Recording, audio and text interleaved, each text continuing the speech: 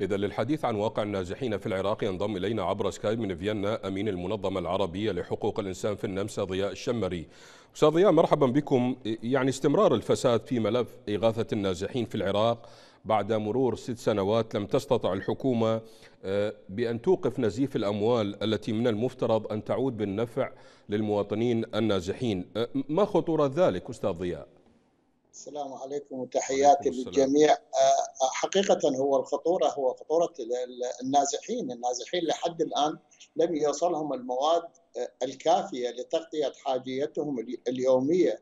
ومن المستفاد طبعا هذه المستفاد بها من القائم على هذا العمل. والقائمين على هذا العمل يعني هي الميليشيات والحكومة العراقية والأجهزة الأخرى الذي ترعى اللاجئين. وذول الناس يعني حقيقة آه، هم من يسرقوا آه، المؤونات ومن يسرق المواد ومن يسرق هذه الملايين من الدولارات.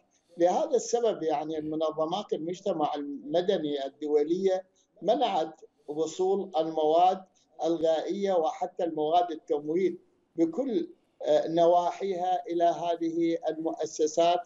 والمخيمات الموجودة في العراق لسبب السرقة لأن هي هذه المنظمات الحكومية وغير الحكومية آه، نادت الحكومة العراقية يعني بحل هذه المشكلة بحل هذه المشكلة ولكن الحكومة العراقية لم ترعى هذا آه، بصيغة تامة ولكن نعم. هي بدأت تستمر بابتزاز الناس وسرق أموال الناس وسرق هذه المواد التي تصدر لهم من قبل هذه المنظمات. هذه المنظمات امتنعت عن عن مساعدة اللاجئين في كل العراق بالوقت الحاضر. أستاذ ضياء غياب آليات الرقابة في العراق آه، هناك آه، آه، يعني إذا ما تحدثنا عن التفاصيل هناك اختفاء أكثر من 900 بيت مسبق الصنع كانت مخصصة للنازحين في مخيم الوند واحد واثنين في قضاء خانقين. هل كان مقصودا إهمال ملف النازحين بهذا الشكل من قبل الحكومات المتعاقبة أستاذ ضياء؟ نعم بالتأكيد لأنه قبل ست سنوات هي انتهت العسكرية المسائل العسكرية في حل النزاع في هذه المناطق وخاصة في الموصل وكل مناطق العراق.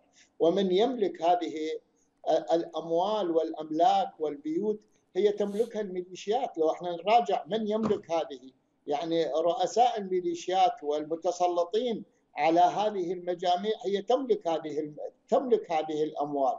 والأموال تسرق بعلم الحكومة. أنا لا أبرئ الحكومة العراقية من انتهاكات حقوق الإنسان بهذا المجال لأن الحكومة العراقية هي الجهة الوحيدة اللي التي ممكن أن تبحث وممكن أن تراقب هذه المجاميع البشرية وممكن تراقب هذه كيف تختلس المواد. إذا الأحزاب السياسية الموجودة في العراق هي كلها أحزاب طائفية أحزاب آه، تابعة إلى جهات معينة وهي من تسرق. يعني المستفادين هم المتسلطين على هذه الأحزاب وهذه الأحزاب هي جزء من الحكومة العراقية وهي مكونة من الحكومة العراقية. يعني إذا كان البرلمان وإذا كانت رئاسة الوزراء هي مكونة من هذه الميليشيات. ومكونة من هذه الأحزاب. يعني إذا إذا إذا نبعد المالكي عن هذا الموضوع فاحنا نكون خاطئين. المالكي هو الجزء الأكبر في هذه العملية السياسية بالوقت الحاضر بالحكومة السابقه الحالية والحكومات السابقة أيضا.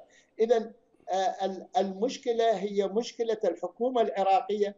هل الحكومة العراقية هو السؤال هل الحكومة العراقية مستعدة أو عندها الإمكانية لرقابة هؤلاء أنا أقول لك نعم ولكن الإشارات هي يعني تأتينا الإشارات انه الحكومة العراقية عاجزة لسبب الوحيد هي أكو أجهزة آه، تتصل بجهات أجنبية ليس لها بالعراق، الحكومة العراقية مثل ما واحد هي مصطنعة وليست حكومة عراقية بحتة. طيب أستاذ ضياء يعني هناك تصريح أو بيان لمرصد آفات كشف أن السلطات الحالية في العراق منعت المنظمات الدولية من أن تقدم أي دعم للنازحين خاصة في الأنبار لا سيما في مخيمات بزيبز والعامرية أه، نعم. يعني ما مدى قانونية هذا الإجراء وما السبب في ذلك باعتقادكم؟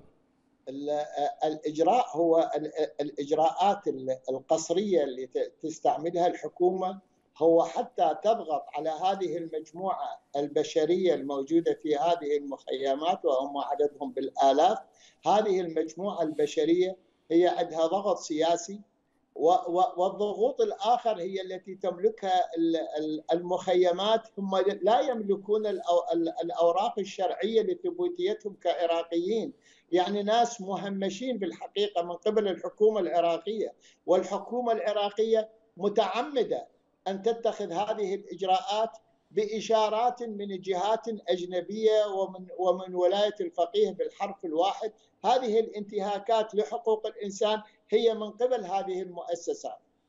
طيب أستاذ ضياء آه، المنتدى الاقتصادي العالمي تحدث بوضوح عن معاناة النازحين من الهجرة القسرية التي باتت مرتبطة بالاضطهاد والنزاعات السياسية. هل تحول ملف النازحين من وجهة نظركم لورقة سياسية بيد الحكومة وبيد الأحزاب في العراق؟ نعم هذه إحنا إحنا نعلم إنه الأحزاب السياسية التي تتحكم في العراق هي تتفاوض مع الأحزاب الأخرى والأحزاب الأخرى تستغل هذا الموضوع الموضوع النازحين قصرا تستغلها الحكومة أو تستغلها الأحزاب السياسية بمنادات الأحزاب المعارضة. هي أكو أحزاب معارضة بس معارضتها بسيطة معارضتها ليست من أجل النازحين أو من أجل المهجرين قسرا وإنما كيف نقدر نكسب من هذا من هذا الأمر أكثر مما هو عليه. هذا هو الموضوع. الموضوع يعني مع الأسف يعني السياسيين الموجودين في العراق بكل أطرافهم هم يتناقشون ويتباحثون عن مواضيع ويطرحون هذه المواضيع للاستفادة الشخصية للحزب مالته أو للفائدة الشخصية لهذه الأحزاب الموجودة اللي هي يعني تتضامن مع الحكومة العراقية وتتحاور مع بقية الأحزاب لتكوين الحكومة، نعم. الحكومة العراقية هي يعني متوجهة وتوجيهها من إيران 100% والدول الجوار أيضا والمناطق الشمالية. يعني حقيقة كل هذا الموضوع في العراق هو موضوع ممكن حله. إذا كانت الحكومة العراقية جادة وإذا كانوا العراقيين نعم هم يحكمون نفسهم ممكن أن يحل هذا الموضوع. لكن بالوقت الحاضر إحنا نعلم أنه الحكومة العراقية مسيرة وليست مخيرة. لا نعم. يمكن أن تختار أي جهة أخرى تسير بها إلا هذه الجهة المرسومة لها من هذه الجهات المدعومة من جهات أجنبية. عبر سكايب من فيينا أمين المنظمة العربية لحقوق الإنسان في النمسا ضياء الشمري شكرا جزيلا لكم.